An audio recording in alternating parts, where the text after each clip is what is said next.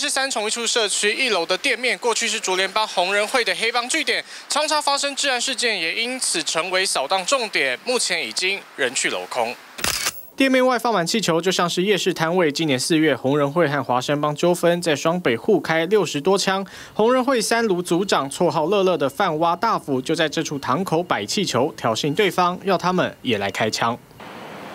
对比现在店门口招牌拆除，大门深锁，整间店面空荡荡，只留下门口的桌椅，没人清理。红人会以每个月七万元的租金租下这间店面三年多的时间，居民提心吊胆。外面红线都停满他们车这样。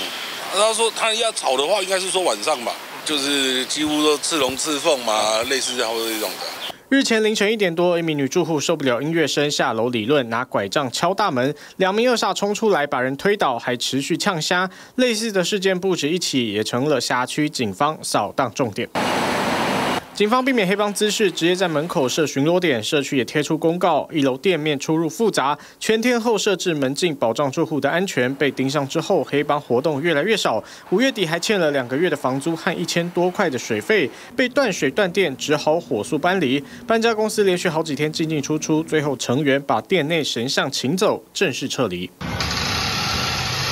店内柜台空荡荡，里头的家具也已经全部清空，几乎看不出来过去曾是黑帮的堂口。他们创设的娱乐公司经营线上博弈，前年底一名叫小雨的金主和另外两人上千万资金分配不均，遭人砸店，一气之下也闹人到对方五谷花店开枪，纠纷不断。随着黑帮撤离，火拼场景未来不会再上演，附近居民终于可以喘口气。TVBS 新闻主持人郭新北市报道。